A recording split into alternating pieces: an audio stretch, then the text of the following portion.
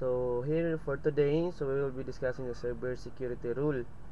So objective, at the end of the exercises, the student should be able to describe the cybersecurity rule of a company.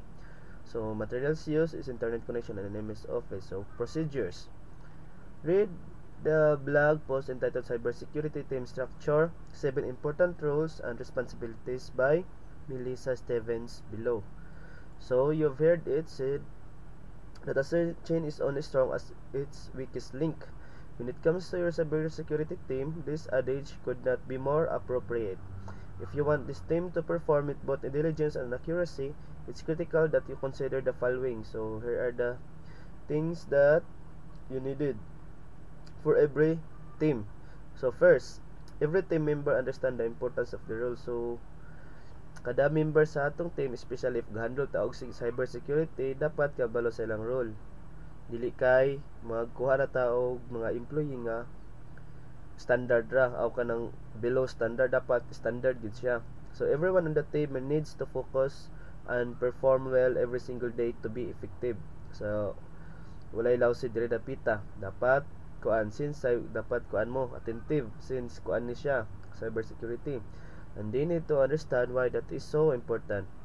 Even the team's members with repetitive functions like those in access identity management, for example, like unsa man ni mo ni sila ang kasagara kanang mga security guard nga mo ngayo sa mga ID if naka if ever naka sa company. Mo ni sila ang mga access or identity management. Before ka makasulod sa company dapat naa ka ani. So dapat kuan na sila. Dili na sila lousy They handle sensitive data and could inadvertently cause a cybersecurity issue if they're not careful. So, ang pinakauna gyud is kaning guard dayon. If masayop na sila dire so mapiktuhan tanan. Kay if na mo abot nga kuan mga tao nga hilabtanon so dili gud dili nila mabantayan. Dapat mabantayan gid nila.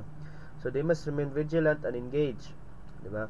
Simply telling everyone their job is critical is not impactful impactful Instead, demonstrate how their jobs are critical to health and security of the business by tying what they do day to day to the organization and strategic goals. So, bilang ta moingon nga kung unsa ka critical ng jobs kay maka-impact na sa company, instead ato silang patanawon kung unsay ma unsay epekto if dili nila tarungon ilang trabaho. Second, security is there to facilitate the business, not to work against the business. So, if kuan ka, gahimo ka og security para sa imuhang business dili kay aron daoton imong business. So if even one member of your team takes on a no can do attitude for every management request that will throw off the rest of the team. Emphasize to every team member that their job is to help the business find the most secure way to accomplish the need especially kaning mga bangko. So dapat kabalo gyud ang mga every member ani kung unsa ka confidential ang data o kaning mga transaction Security and the business should be partners. There will be times when you must deliver the message to the business. Request possess a significant risk, but it's usually a business decision to accept that risk or not. If you focus on helping the business achieve its goals in a secure way, that's appropriate for what at risk. The times you need to say no will be rare. As a result, the business will be more likely to listen when those time come. So, di ta magharog mga employee or member sa atong team nga na ay no kando nga attitude. Kay maapektuhan tanan ang team. So finally it's critical not to overstate risk but to keep the discussion logical fact based so una amoy mga risk. For example dere Asilia Bicor president of the Intelligraphs Group Inc. told us if you're going to say the sky is falling be sure it's really falling So kaning kinahanglan jud kung unsay imong gipang istorya kay nayoban ma-interpret nila. For example kaning sky is falling nayoban nga ma-interpret nila dito nga nag-rain siya or kaning mga kwan kay nga tao ang ilang interpretation kay ang sky is na falling na fall good siya. Not just starting to rain. Some security professionals may be tempted to craft dramatic cybersecurity message based on if you differ uh, uncertainty and doubt. So kanang kada nimo story dapat specific and concise kuna siya. Dili ning vague. Nabutang man ning sky is falling. Vague man ni kay ano. Kung imo ni sabtan og tarong makaingon ka nga maulan. Pero kung imo ning kuan nga dili nimo kay sabton so maingon ka nga ay na fan nahulog ang kuan sky. So di na mao.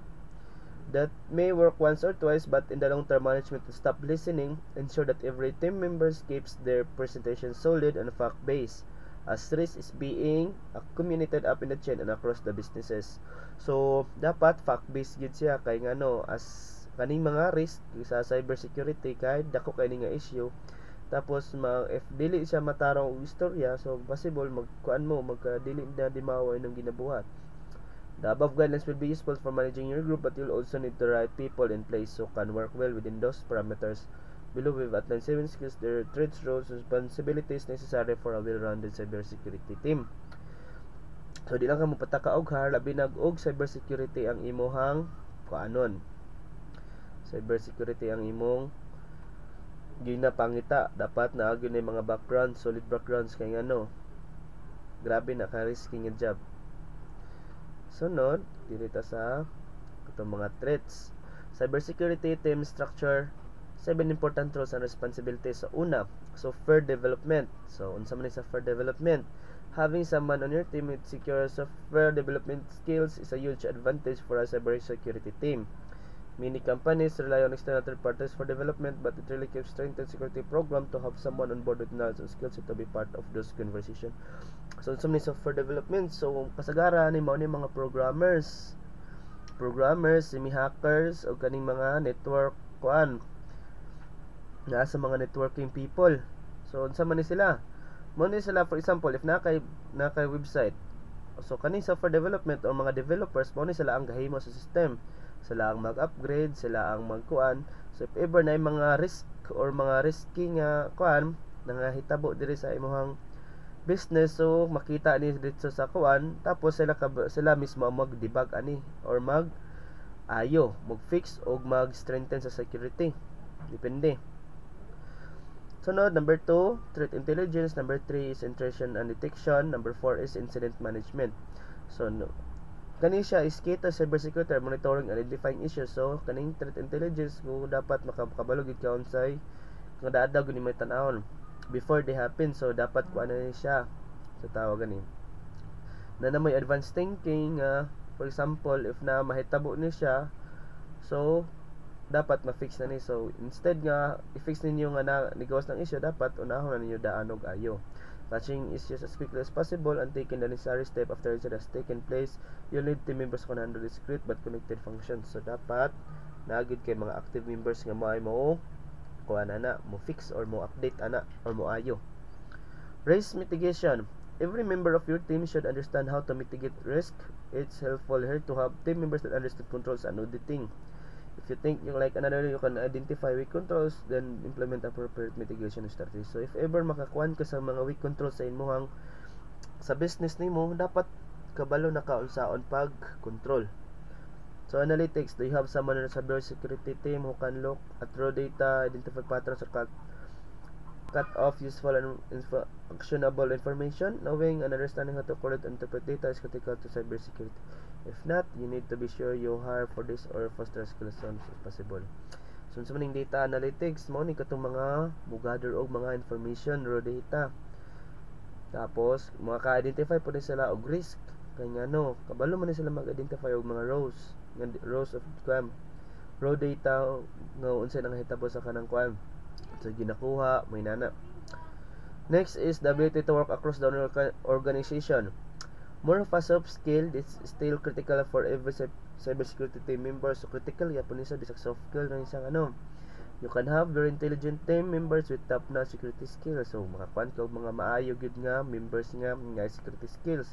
But if these individuals can't have relevant conversation with people in other departments, if ever mugamit sila mga technical terms, for example, mugamit sila technical terms, dili sila masabtan sa lain department kay ngano di man sila pare-pareha og skills na may uban nga department nga ang i-relay information base ra sila nasabtan. Dapat kung unsa tong gamiton ni mga kanang kuan since need man gyud ka og sakto so dapat maka kuha catch up pod ang lain nga department. Na in a manner that elicits cooperation they um, will have more time more limited career opportunities limited effectiveness in the current role so di ba?